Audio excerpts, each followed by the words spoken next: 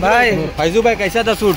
कैसा था फैजू भाई भाई एलविस भाई के साथ में कैसा रहा? कैसा रहा बहुत अच्छा एक्सपीरियंस शूट था। देखो आप लोग अच्छे सवाल पूछो मैं अच्छे से जवाब लेकिन- मैं आप लोग के लिए रुका हूँ एलविश भाई से मुलाकात हुई अच्छा। कैसे क्या क्या बात हुई? क्योंकि बाहर बहुत कंट्रोवर्सी चल रही है। ये कंट्रोवर्शियल क्वेश्चन नहीं है है। भाई आप बताइए जरा क्या बातचीत हुई? बहुत अच्छी बातचीत हुई। आप लोग प्लीज़ शो देखना गाइस और शो के अकॉर्डिंग आप लोगों को समझ में आएगा क्योंकि हमने एक्स्ट्रा कुछ भी नहीं बातें की अच्छा।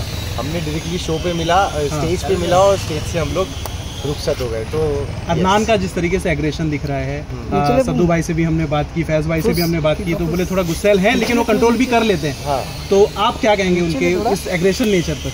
मैं ये एग्रेशन नेचर पे यही कहूँगा कि देखो वो हर किसी की अपनी अपनी पर्सनालिटी होती है उसने उस पर्सनालिटी को हमेशा से कैरी किया है। हम्म, तो मैं यही कहूँगा कि हमें कोई भी कंटेस्टेंट को हम्म, जज करने से पहले हम्म, उसे समझना बहुत ज़रूरी है। बिल्कुल। मैं किसी व्यूवर्स को गलत नहीं बोलूँगा बट मैं ये बोलूँगा कि अभी वो आया है। हम्म, हमें उसकी पर्सनालिटी को ऑब्ज़र्व करने में थोड़ा सा टाइम तो जाएगा। लेकिन कटारिया से बन नहीं रही है बिल्कुल भी। धक्का। धुक्की हो रही है। कैसे हाँ। बनेगी आप फैजू भाई आप बताइए क्या हो सकता है? देखो मैं जहाँ तक अदनान को पर्सनली जानता हूँ अदनान एक बहुत अच्छा लड़का है। हम्म। और अगर उसकी बॉन्डिंग नहीं बन रही है तो उसके कुछ रीजंस है।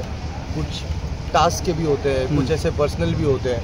बट वो सारी चीज़ें वो दिख रहा है कि वो जहाँ उसको लग रहा है कि मेरे को वाइब्रेशन सामने से ऐसी मिल रही है हम्म, वहाँ वो वैसा रिएक्ट कर ओके तो आप कब जाना चाहेंगे? क्योंकि फैज भाई से भी हमने बात की तो फैज भाई बोले बहुत जल्द बहुत जल्द हो सकता है इंशाल्लाह हो जाए वो। हाँ, मिनट मैं इंशाल्लाह आप लोग दुआ करो और मैं जाऊँगा। है? फैजू भाई जैसे अभी सोशल मीडिया पे चालू है Faizu team zero seven miss Elvish army तो आप क्या बोलना चाहोगे उसके ऊपर?